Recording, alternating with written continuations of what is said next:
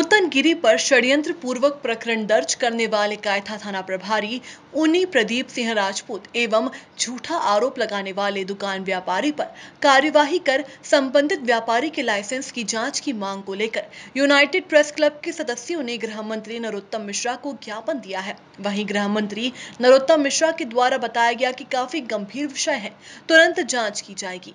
वहीं अगर जाँच करने पर दोषी पाया जाता है तो उसके ऊपर कड़ी से कड़ी कार्रवाई की जाएगी। उज्जैन से अर्पित बोढ़ाना की रिपोर्ट। का नूतनगिरी पे झूठा मुकदमा थाना प्रभारी द्वारा दर्ज किया गया है। कायथा थाना प्रभारी द्वारा इसमें किस प्रकार की कार्रवाई की जाएगी और पत्रकार को किस प्रकार की राहत मिलेगी? आपके द्वारा अभी अभी मेरे संज्ञान में ये विषय लाया गया क्योंकि अभी लाया गया है तो मैं तत्काल इसकी जाँच का ये मैंने बोला है।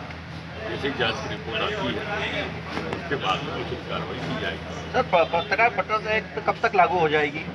ये विषय ऊपर संज्ञान में लाया गया है। थोड़ा समय लगेगा सर इसमें एक ही दिन में ही पत्रकार के ऊपर एक ही दिन में कायमी हुई एक ही दिन में 164 हो गई और एक ही दिन में सब कुछ हो गया सर।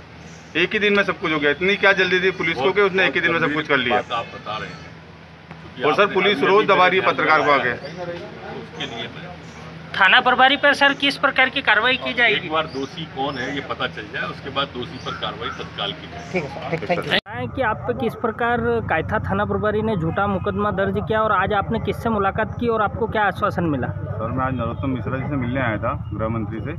उनको ये मामला पूरा संज्ञान में लाया कि मेरे साथ जो हरकत हुई या मेरे साथ मेरे खिलाफ जो प्रकरण दर्ज हुआ और मैं एक पत्रकार हूँ, मुझे पत्रकार की, के लिए भी बहुत संघर्ष करना पड़ा कि मैं आप पत्रकार नहीं हो अधिमान्य नहीं हो, इस चीज़ के लिए मेरे को बहुत प्रेशर दिया गया ऊपर से कि आप पत्रकार का पूरा वो लाइए। जब मैंने उनको मेरा पीआरओ लेटर दिखाया तो मेरे पीआरओ लेटर को थाना प्रभारी द्वारा रिजेक्ट कर दिया, फिर भी फर्जी करार दिया गया मेरे को। और फिर भी मेरे प्रति उन्होंने कायमी करके उसको एक दिन में सिक्सटी फोर करके एक ही दिन में सब कुछ कर दिया।